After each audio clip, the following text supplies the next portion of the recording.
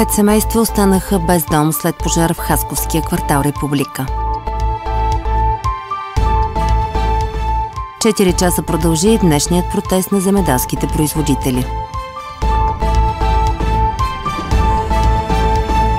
Ново общинско предприятие ще менажира работата на трите оркестъра в Хасково. На 8 февруари вие сте с новините на ITV. Добър вечер. Пет семейства останаха без дом след голям пожар. Разразил се с нощи в Хасковския квартал Република. Днес на мястото все още имаше пожарникари. През деня на посещение пристигнаха и служители на агенция социално подпомагане. Сигнал за пожара е бил подаден малко след 2 часа и 30 минути сутринта. Пламъците са тръгнали от къщата на Магдалена. Жената разказа, че вероятно пожарът се е разгорял в коридора на сградата. Изведнъж бухна пожара. Извикаха хората, че горим вътре. И ние избягахме вънка. Всичко оставихме. С тези деца, къде ще отиваме? На пътя останахме. Близки имате ли да ви помогнат сега? Няма кой да ни помага. Близки, ето, снахата и аз. Няма. Вследствие на пресечения терен и липсата на инфраструктура за кратко време пламъците са се разраснали, като са изгорели напълно 4 едноетажни жилища и барака, които са на един адрес и жилищна сграда в съседство. Няма пострадали. Там всичко ви изгоря. Само всичко, което имахме, изгоря. Нищо не остана пепел всичко. Някой душман или кост, не знаем вече кой е направил. Семейството на Райко е сред потерпевшите. Мъжът наскоро бил приключил с ремонта на жилището, но днес целият му дом вече е унищожен. Е така, влизахме. Това е. Една копче не мога да вземат вътре. Всичко е плазма, гладилника. Секция, Всичко е. Тя роднини имате ли къде? Няма. Няма къде да Няма. Вънка са. Е, къде? Това е всичко е изгоряло. Е, това нещо. Всичкото е изгоряло. Е, това, виж, е тук може да преснимаш. Е, тук. С сълзи на очите Марин ни показва своя дом, в който до вчера е живяло семейството му. Надява се на помощ от общината. И ми оттам накъде вече, ако има шанс, оттам само. През деня на място все още имаше екипи на противопожарната служба, които оглеждаха района за евентуално ново разгаряне на пламъци. Предстоеше оглед за изясняване на причините за случилото се. Междувременно на място пристигнаха служители на дирекция социално подпомагане. С час повече беше удължен протеста на земеделските производители в област Хасково. За трети ден те блокираха два международни пътя в региона. Ако исканията им не бъдат прияти, фермерите заплашват с безсрочни протести. Янко Запрянов е трето поколение фермер. Неговият дядо обработва земеделска земя от 1955 година. Сега заедно с семейството си Янко притежава 2200 декара земеделска площ, като отглежда пшеница, слънчоглед, рапица и царевица. Мъжът трети ден се включва в протеста на земеделските производители. Примерно сега, ако взимат 1500 лева заплата, връщаме заплатите преди 6 години и по магазините всичко остава на сегашните цени. Просто няма как да стане. С земеделие точно това се случва в момента. С внос на продукти също от Украина, без мито и после казват европейската продукция била скъпа. Предложенията в меморандума на премиера по никакъв начин няма да помогнат на сектора, коментира още Янко. Това са хора, които въобще се нямат на представа от земеделие. Може да имат представа за всичко друго, но не и от земеделие. Не може да, да с данъчна декларация да, да доказваш а, а, загуба. Никой докажем загуба, ни просто няма да продължим по нито, нито 10 лева ще направят, нито 20 лева въобще. В земеделието трябва толкова много а, инвестиции и, и пари, че просто много, много разходите са много. Над 100 трактора днес затвориха два международни пътя край Хасково. Протеста включваше и демонстрация с палене на бали с слама.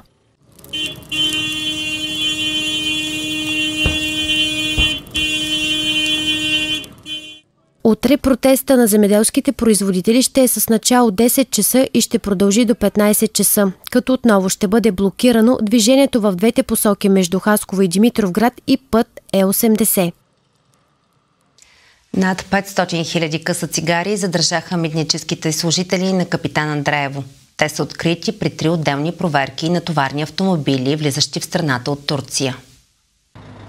Най-голямото количество нелегални цигари е открито на 6 февруари, когато на граничен пункт капитан Андреево пристигнал товарен автомобил с турски шофьор, който представил редовни документи за превозваната стока, част от която мебели, пътуващ от Турция за Франция. Камионът бил селектиран за щателна митническа проверка, при която са отбелязани необичайни плътности в превозвания товар – част от декларираната стока 25 дървени рамки от двете страни затворени с шперплат са открити 16 930 кутии цигари с чужд акцизен бандерол. При други два случая са съставени актове за административно нарушение по закона за митниците на двама турски шофьори. При един от случаите в товарен автомобил, превозващ мебели от Турция за Франция, са открити 7590 кутии цигари. Чучуневите изделия били укрити под тапицерията на два дивана и пет шкафа. Нелегални цигари били открити и при проверка на влекач с полуремарке, превозващ стока от Турция за Германия. В предната част на полуремаркето са били открити 2170 кутии цигари. Създават ново общинско предприятие, което ще менажира работата на трите оркестра в Хасково. Тъй нареченият културен институт ще може да кандидатства по европейски програми за финансиране на дейности.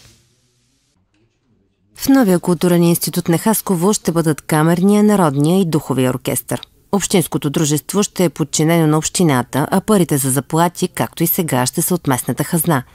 Това стана ясно след среща между кмета Станислав Дечев и министъра на културата Кръстю Кръстев.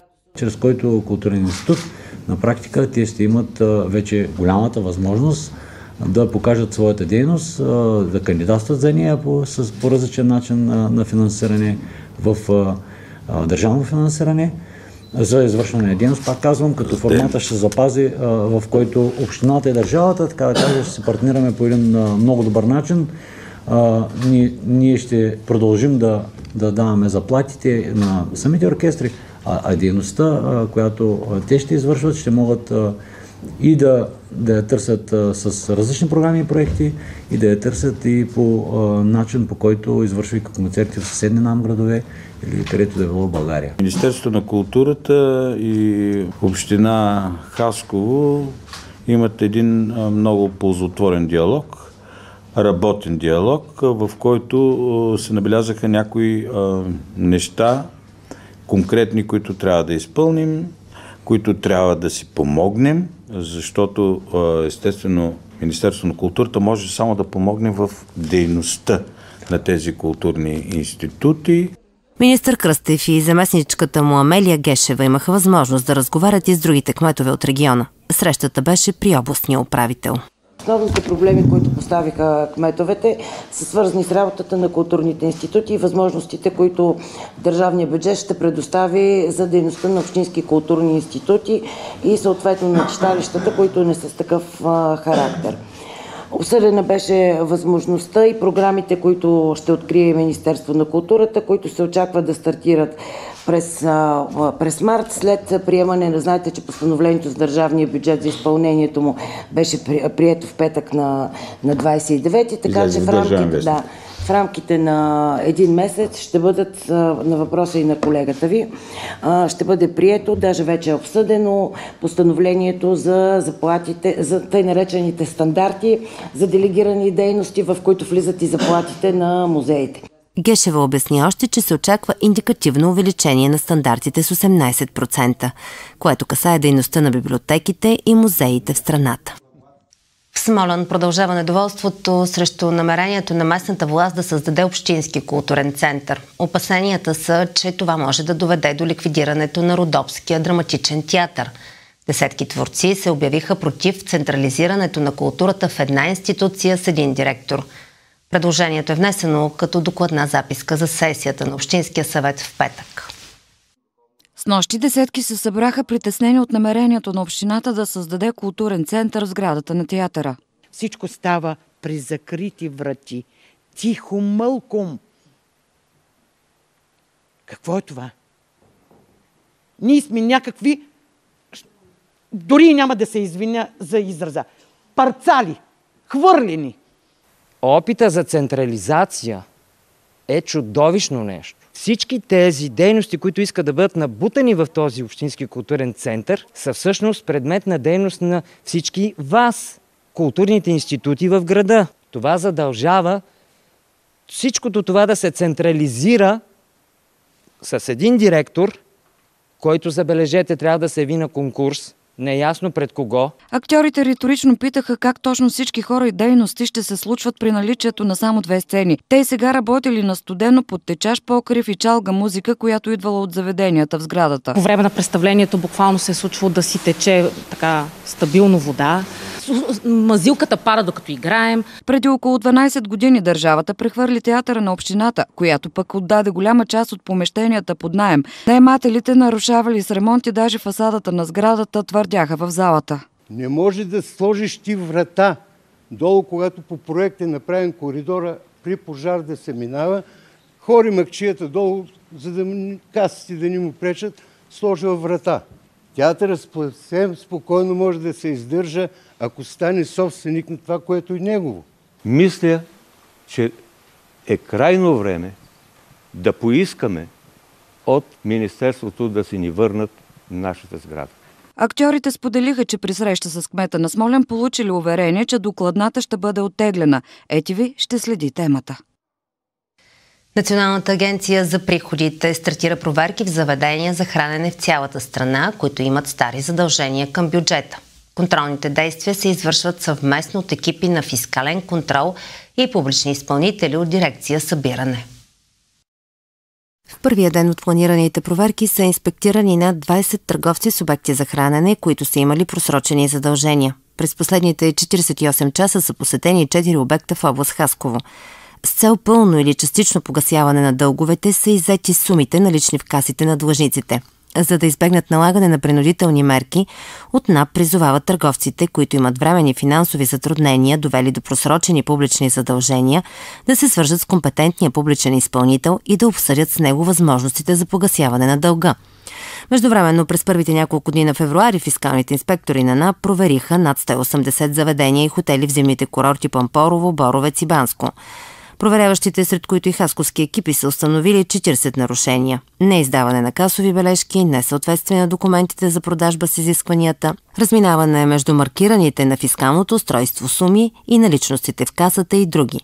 В рамките на зимната контролна кампания данъчните инспектори са извършили тъй нареченото явно наблюдение, което означава, че те са се легитимирали и в продължение на няколко дни са присъствали в заведението или хотела. Така фискалните контролери са проследили постъпленията, след което са ги сравнили с продажбите в предходни периоди. В проверките се е включил и тъй наречения таен клиент, чрез който безспорно е установено, че част от търговците не издават документи за извършените продажби. Разширяват площа за напояване в област Хасково. Тя ще бъде увеличена с близо 40 000 декара. Дейностите започнаха преди два месеца и трябва да приключат до 1 май. Проектът включва реконструкция на необлицовани участъци на основен напоителен магистрален канал и съоръжение с водоисточник язовир Тракиец. С реконструкцията се цели да се намалят загубите на вода и да се подобри проводимостта на канала, който е с дължина 47 515 км. Ще се подават по-големи водни количества и съответно ще има увеличение на поливните площи, както и ще се постигне предотвратяване от наводняване на прилежащи земеделски земи. По проект са заложени 6 милиона и 700 за обновяването на тъмпоителния канал, който ще е нали, в плюс за земеделците, които използват водата. И нали, очакваме до година да обновят и малките каналчета, които са зад надолу към земеделските площи, защото малко е... Няма логика да обновиш големия канал, пак малките да ги обновиш. Към момента на подготовката на проекта коефициентът на полезно действие на участъка от канала е бил малко над 40% и чрез него е транспортирана вода до общо 1499 декара. Очаква се след обновяването на канала коефициента да достигне до 55%. Собствениците на земите, които са били засегнати от строителните дейности, ще бъдат обезпечени. Те няма как да не се засегнат, след като няма, като няма достъп до съоръжението.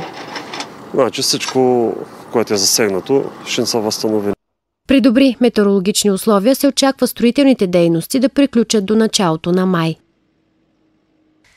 Над 180 камери за видеонаблюдение ще бъдат монтирани в паркове и невралгични точки по пътищата в Кърджали. Съоръженията ще следят за наредности и вандалски прояви. 50 от общо 180-те камери ще бъдат поставени в парковете Арпезо Север и Простор. Малка част от тях вече са монтирани. Те ще следят за вандалски прояви, които в последните години са много сериозен проблем в Кърджали. Значи те сега смениха пейките. Може да погледнете бетонена пейка на какъв хал беше. На какво дередже демек беше. В началото на парка бяха просто хората се погрижиха и стадион да има, и катерушки да има, има една беседка на края на парка. Паветата трябва да са на земята, те са отгоре на покрива. Това години продължава тук. Това безчинство да го наречем. Те изпочупиха беседките. Тук тези Пейките. помпончета, дето бяха пейки, всичко. Изглежда групи са някакви такива младежи, които са по-буйни. Трудна работа. Ако Дори след поставяне на камера. Това е, това е възпитание. Ние вече, ние вече си отглеждаме домашни любимци. Не си отглеждаме деца. Според хората мярката с камерите е добра, но задължително трябва да има последствия за нарушителите. Дано накажат някой, за да има някакво, так, някакъв страх все пак. Вандалите, като ги докажат, не да кажат снимката не важи в съда, а да кажат тук е мой човек. Да има последствия. Големи. Защото пейките са изпочупени. А камерите да изпочупени. Що не? Всичко е възможно. Останалите 133 камери ще се поставят на възлови пътни отсечки в общината. Те ще следят за нередности от всякакво естество и пътни нарушения, с което ще бъдат подпомагани и органите на реда. 60 проверки на 50 обекта в областите Хасково и Кърджали извършиха екоинспекторите през месец януари. В рамките на осъществения контрол са дадени 17 предписания и са съставени 8 акта за установяване на административни нарушения. През месец януари служителите от направление чистота на атмосферния въздух към екоинспекцията в Хасково са извършили проверка на ТЕЦ Марица 3 Димитров град във връзка с подаден сигнал за замърсяване на въздуха и за проверка изпълнение на дадено предписание за прекратяване на изпускане на неорганизирани емисии от сградата на котелно помещение. При извършения обход на производствената площадка е констатирано изпускане на неорганизирани емисии. Дадено е предписание да се предприемат и изпълнят мерки за прекратяване изпускането от западната страна на сградата на котелно помещение. През изминалия месец са съставени 8 акта за установени административни нарушения, като по-голямата част от тях са във връзка с разорани пасища и ливади в защитени зони от екологичната мрежа Натура 2000. Извършени са и много голям брой проверки за спазване режимите на опазване и стопанисване на защитените територии в региона. Имало е и извънредни проверки за реализация на инвестиционни намерения в границите на защитени зони относно бедстващи защитени видове, регистрация на нови поколения папагали и във връзка с предложения за обявяване на нови вековни дървета. Пълната зала на читалище Орфееви гори в Смолен беше представена дебютната книга на Добрина Ангелиева. Авторката е инспектор в полицията, но отделя време и за писане. Книгата е издадена с подкрепата на Министерството на културата. Добрина Ангелиева участва със свой разказ в националния литературен конкурс Вие пишете, ние четем през 2020 година. Тогава талантът ти е забелязан от Весела Люцканова, а разказът ти печели втора награда. Две години по-късно се ражда дебютният сборник Една специална библиотека. Понеже аз пълки години съм се занимавала с откриване на млади таланти в издателство Народна младеж, никак ми беше трудно да разбера колко талантлива е вашата гражданка. Според Люцканова, сборникът всъщност представлява три книги. И трите са еднакво добри, еднакво талантливи, еднакво проникващи в душевността на нейните герои. Тя обича доброто. Нямам търпение да се а, така гмурна в а, тази, тази книга и пожелавам, разбира се, да не е последна. Много се вълнувам. Първо, това е първата ми книга, една моя сбъдната мечта. А това, че представянето и най-напред пред публика ще е в моя град Смолен, е разбира се още по-вълнуващо и, и още повече, че съм в а, моето си читалище в Долно Райково. Тук съм израснала. А, в това читалище също имам доста спомени, така че наистина много съм щастлива. В представянето участва дъщерята на Добрина Елица Димитрова, която е наследила част от талантите на майка си и автор на иллюстрациите в книгата.